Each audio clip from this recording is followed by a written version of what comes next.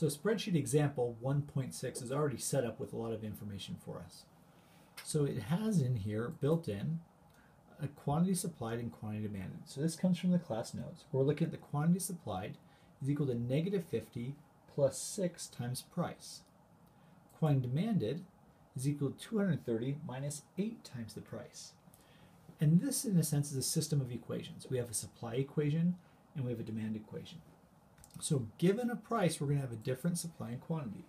So if the price is 10, what this is going to show us is that the quantity supplied is 10 and the quantity demand is 150.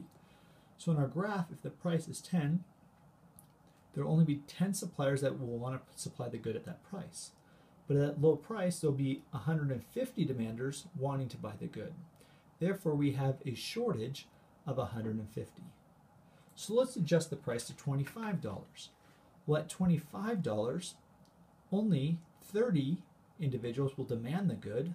Meanwhile, 100 individuals want to supply the good. Therefore, we'll have a surplus of 70 or a shortage of negative 70. So what the system of equation does is it works to solve these lines until quantity supplied equals quantity demand. So I do 23, almost there, 22, getting closer, our, short, our surplus is 28, and now it's 14, and once I get 20, what you'll notice is quantity supplied equals quantity demand, therefore we have a surplus or a shortage of zero, and therefore we've solved the equilibrium of this system of equations.